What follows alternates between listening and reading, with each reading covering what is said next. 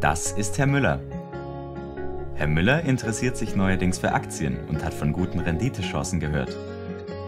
Er ist Smartphone-Liebhaber und überzeugt von steigenden Verkaufszahlen im nächsten Quartal. Deshalb entscheidet er sich dazu, Aktien der Smartphone AG in sein Portfolio zu kaufen. Das Portfolio ist sein persönlicher Bestand an Wertpapieren.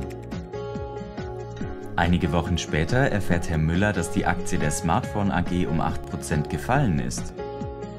Herr Müller ist enttäuscht. Da ihn die Abhängigkeit von nur einem Unternehmen besorgt, möchte er sich dazu beraten lassen. Bei der Beratung erfährt Herr Müller von den Grundideen der Portfoliotheorie. Einfach gesagt ist ihr Ziel, eine bestmögliche Kombination von Anlagemöglichkeiten zu finden. Zunächst ist es dabei wichtig, dass es beim Investieren nicht nur auf die Rendite, sondern auch auf das Risiko, also die Wertschwankung der Anlagen ankommt. Der Begründer der Portfoliotheorie, Harry Markowitz, zeigte, dass die Schwankung einer Aktie durch die Hinzunahme weiterer Anlagen abgeschwächt werden kann. Besitzt Herr Müller zum Beispiel eine Aktie, die um 8% fällt und eine weitere Aktie, die um 10% steigt,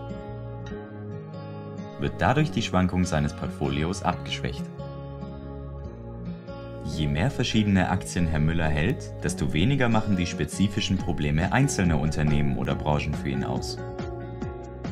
Die Risikoreduktion im Portfolio durch die Streuung des Kapitals auf verschiedene Unternehmen und Branchen wird Diversifikationseffekt genannt. Man muss jedoch im Hinterkopf behalten, dass es auch Risiken gibt, die die Aktienkurse von Unternehmen weltweit betreffen und die nicht durch Streuung umgangen werden können. Herr Müller entscheidet sich also dazu, mehrere Aktien zu kaufen, um sein Risiko zu reduzieren. Wie stark sich das Risiko reduzieren lässt, hängt davon ab, wie sich die Aktienwerte verschiedener Unternehmen im Vergleich entwickeln. In einem heißen, trockenen Sommer wird sich die Aktie eines Eisverkäufers eher positiv entwickeln, während die Aktien der Regenschirmindustrie unter diesen Bedingungen tendenziell sinken werden. Im Beispiel reagieren die Aktienrenditen verschiedener Unternehmen also nicht absolut gleich auf externe Gegebenheiten wie das Wetter.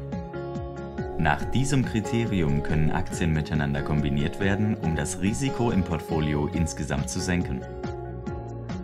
Sogar wenn sich zwei Aktienkurse tendenziell in dieselbe Richtung bewegen, findet bereits Risikominderung im Portfolio statt. Allerdings weniger, als wenn sich die Aktienkurse tendenziell gegenläufig entwickeln. Festzuhalten ist, dass jedes weitere Wertpapier im Portfolio einen Beitrag zur Risikominderung leistet. Herrn Müller ist nun klar geworden, dass sich Aktienkurse verschiedener Unternehmen nicht gleich verhalten und dass das Gesamtrisiko durch die Kombination vieler Aktien sinkt.